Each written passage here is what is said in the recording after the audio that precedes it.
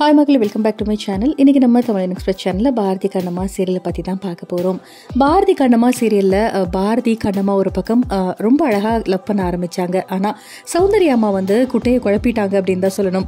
வெண்பாவையும் பாரதிக்கும் வந்து ஒரு பக்கம் சம்மதமே இல்லாமல் நிச்சயத்தை பண்ணி முடிச்சிட்டாங்க. பாரதி கிட்ட ஒரு வார்த்தை கூட கேட்கல பாரதி என்ன சொல்கிறதுனே தெரியல. அவங்க அம்மா கிட்ட ஏதோ சொல்ல வராரு. ஆனாலும் அவரால் சொல்ல முடியல. எனக்காக நீ வந்து வெண்பாவோட சந்தோஷமாக சேர்ந்து வாழு பாரதி அப்படின்னு சொல்லிட்டு போயிடுறாங்க.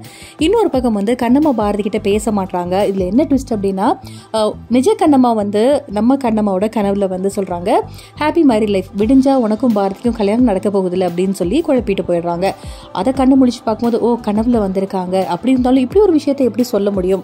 ஏன்னா வந்து இப்போ இருக்கிற விஷயத்துக்கு பார்க்கும்போது வெண்பா பாரதி ரெண்டு பேருக்கும் தான் கல்யாணம் நடக்கும். இதெல்லாம் நடக்கிற விஷயமா அப்படின்னு சொல்லிட்டு கண்ணம்மா அவங்களுக்குள்ளேயே பேசிக்கிறாங்க. ஒருவேளை அடுத்த ஒரு ரெண்டு மூணு எபிசோட்ல வந்து பாரதிக்கும் கல்யாணம் கண்ணம்மாக்கும் கல்யாணம் நடக்க போகுது போகுதா அப்படின்னு சொல்லிட்டு நமக்கே வந்து அதை எதிர்பார்க்க தான் தோணுது. ஸோ அடுத்து என்னெல்லாம் திருப்பங்கள் நடக்க போகுது? பாரதிக்கும் கண்ணம்மாக்கும் தான் கல்யாணம் நடக்குமா? இல்லை சௌந்தர்யா சொன்ன மாதிரி வெண்பாக்கும் பாரதிக்கும் தான் கல்யாணம் நடக்குமா அப்படின்னு பொறுத்திருந்து பார்க்கலாம். இந்த வீடியோ பிடிச்சிருந்தா லைக் பண்ணுங்க. இந்த மாதிரி அப்டேட்ஸ்க்கு நம்ம சேனலை மறக்காமல் சப்ஸ்கிரைப் பண்ணிக்கோங்க. தேங்க்யூ